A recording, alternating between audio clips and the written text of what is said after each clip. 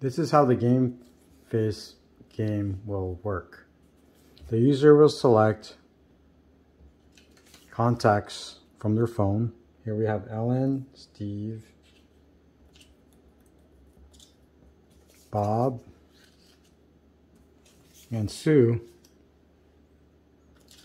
And the game app will bring in their the contacts photo into the game to create these pairs.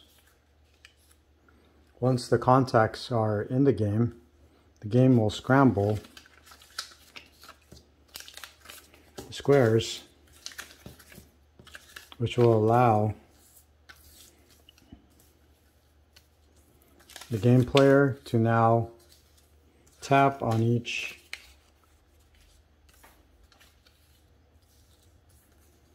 box in order to create in order to create pairs.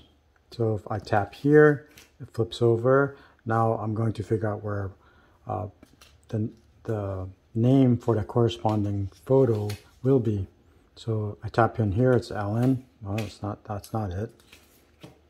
So if I tap this one, says Bob. So then I know where Bob was. So that comes, then I have a pair here that gets taken away. Now I'm left with these boxes. So I'm going to pick this one. It's Sue. I'll pick another one.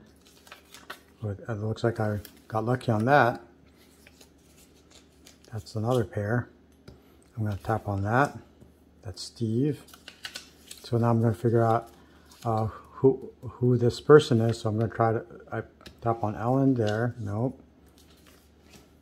If I tap on this one, it's Steve. So if I remember Steve's face, which is this one, I get another pair. This leaves me with this pair, which is Ellen, and that is the that is the end of the game.